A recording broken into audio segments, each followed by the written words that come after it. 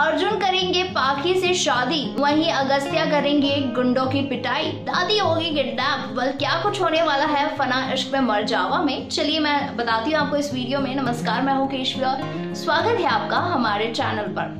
Well serial फना इश्क में मर जावा का ट्रैक इन दिनों काफ़ी ज़्यादा इंटरेस्टिंग चल रहा है। जहाँ पर हाल फ़िलहाल खबरें ये है कि यू नो जिस तरीके से आने वाले ट्रैक में हम देखेंगे कि अर्जुन और पाखी दोनों मंडप तक पहुँच चुके हैं और जो है पाखी को काफ़ी ज़्यादा यू नो अलग लग रहा है। उन्हें लग रहा है कि कुछ तो गलत हो रहा है। लेकिन अर्जुन जो कि अगस्त्या की जगह लेकर बैठे हुए हैं और वो बार बार जो है पाखी को यू नो शादी के लिए फोर्स करते हैं जल्दी जल्दी करने के लिए। लेकिन पाखी कहती है कि जब तक दादी नहीं आती है तब तक वो शादी नहीं करेंगे। लेकिन दादी को किडनैप कर लेते हैं, अर्जुन और मीरा।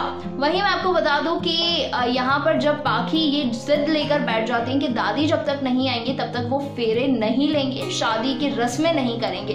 तो ऐसे में अर्जुन और मीरा जो है, वो दादी से एक वॉइस नोट भिजवाते हैं पाखी को, और जहाँ पर वो कहलवाते हैं कि वो हाल फ़िलहाल बिज़ी हैं। उनकी एक दोस्त जो है, वो हॉस्पिटलाइज है तो इसमें वो बिज़ी हैं, उन्हें टाइम लग जाएगा, और वो जो है, फेरे शुरू करें। शादी की रस्में जो है वो शुरू करें। वही मैं आपको बता दूँ कि यहाँ पर इन दोनों की शादी जो है वो अगस्त्या देखता है और वो अपना आपा खो बैठते हैं और जहाँ पर जो गुंडे हैं वो कहते हैं कि ये कैसा पति है यू नो अपनी वाइफ को किसी और का होते हुए देख रहा है। तो ऐसे में अगस्त्या काफ़ी ज़्यादा हाइपर हो जाते हैं और गुंडों की पिटाई करते हुए नज़र आते हैं। वेल अब ये देखना काफ़ी ज़्यादा इंटरेस्टिंग होगा कि क्या अगस्त्या पाखी और अर्जुन की शादी को रोक पाते हैं, क्या दादी एंड टाइम पर पहुँच पाती हैं, फेरे रुकवाने के लिए। वो देखना, वाकई में काफ़ी ज़्यादा इंटरेस्टिंग होने वाला है। क्या है आपके रिएक्शन कमेंट सेक्शन में ज़रूर शेयर कीजिए। बॉलीवुड टेलीविज़न और एंटरटेनमेंट जगत की तमाम खबरों के लिए बने रहिए हमारे साथ, यानी हमारे चैनल पर।